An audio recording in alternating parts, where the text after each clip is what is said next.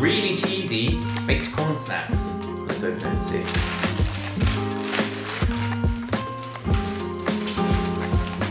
Whoa, these smell like real cheese. Monterey Jack. I am very surprised. Texture-wise, like Nik Naks. Taste-wise, really good. It tastes amazing actually. Really nice rounded cheesy flavour. I'd eat the whole bag in one go.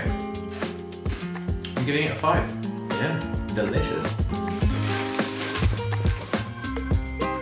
Smells like macaroni cheese.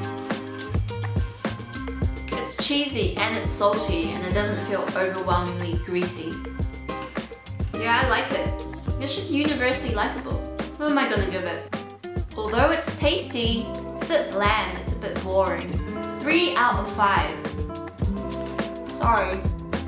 They look like Cheetos. You say everything looks like Cheetos.